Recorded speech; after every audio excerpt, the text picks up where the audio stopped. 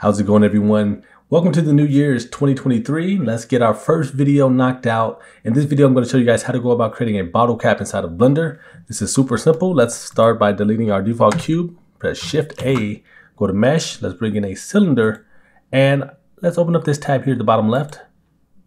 Uh, you can have your vertices be 24. I, um, for the sake of the tutorial, I'm going to do 32 and I'm just going to leave the rest as it is.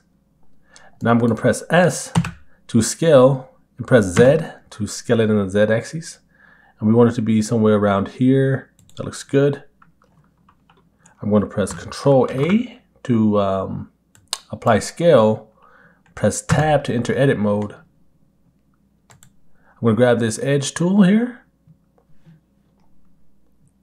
Double click to select a ring, or if that doesn't work, you can hold Alt and select this edge to select the entire ring. Um, for some reason, in, in, different versions of Blender, you have to do different methods, but that's what I've learned. Let's press Control B to create a nice bevel. And we can go somewhere around here. And we can bevel it 4. 4 looks good. And now what I'll do is go to the bottom and I'll select my um, face selection, select the bottom cap, delete that, go to faces. And what I'll do is select this entire um, ring of faces by either double clicking on this center edge or holding alt and selecting that um, center edge We'll select them all depending on the version of Blender you're using. And now we want to select every other face. So we can do that by um, going to select and where you checker deselect and ensure um, yours looks like this at the bottom left. It's 1, 1, and 0 for the offset.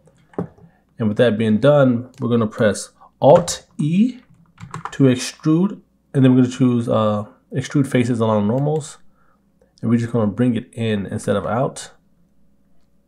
Somewhere around here looks fine. You can hold down Shift for incremental movements. And that looks good. So what I want to do now is switch from face select back to edge mode double click to select this entire ring or hold down alt depending on the you know version of blender you're using. I'm going to keep stressing that because i get uh, lots of questions and people ask it doesn't work when i double click or it doesn't work when i alt. So it's either or depending on the one you're using. Now when you select that now we want to go back into select mode and let's choose checker deselect once again and we're going to change the offset from 0 to 1 and with that being done, now we can press delete and we want to delete the edges. And it's going to give us this shape.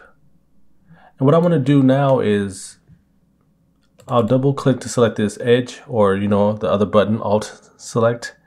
And I want to press S to scale. And I just want to scale it slightly inwards. And now what I can do is just hop out of edit mode, go to object mode, right click, go to shade smooth, and let's go to the modifiers and let's add a subdivision surface. And it gives us something like this. And let's just bring the levels up to two. This looks good. So that's pretty much it. Um, you can add a, a, thickness to it if you want it to not look so paper thin.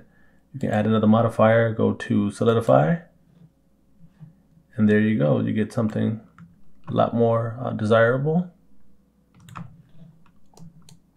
And you can apply these by being in object mode and pressing Control A, or you can just hit the drop down and press apply. Either or works. And if you want to get rid of this weird shadow here, you can tab back into edit mode and just add some supporting edge loops. Control R and just bring this down here. Do the same on the inside if need be.